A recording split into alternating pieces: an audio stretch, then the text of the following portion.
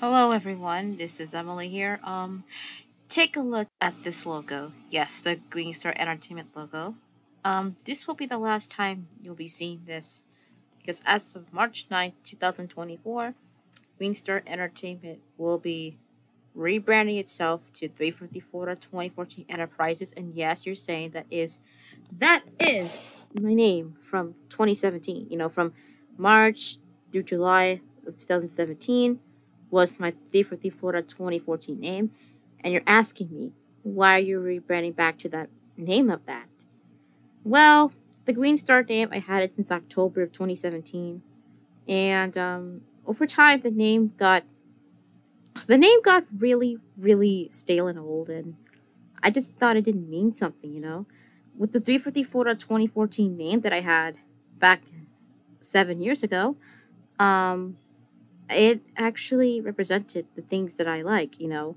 343 is like representing 343 Guilty Spark and 343 Industries from Halo, Florida, the state where I live, and 2014, not the year that I joined YouTube, but it was also it was not the year that I joined not the year that I joined YouTube, but it was a year that I consider to be my best years of the 2010s because I had a lot of fun in 2014. So yeah, that's how the name came to be and I actually enjoyed that name. That's right. And I, even though there are some tough moments in that era, I actually had a lot of fun there. You know, I met some other friends with this name, and that's the name that got me into making my own blooper series, which you know they were fun to do. I'm, I'm, and yeah, there are a lot of stuff that, you know, I just remember the good things. So, um, yeah, the 354 2014 name is coming back as of, the, as of March 9, 2024, the seventh year anniversary of the re of the name change, the first name change of 343 Florida, 2014. You know, so yeah.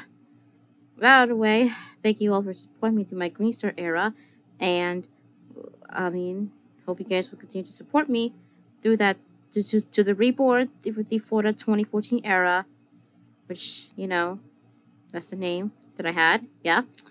And hopefully there will be more good things to come.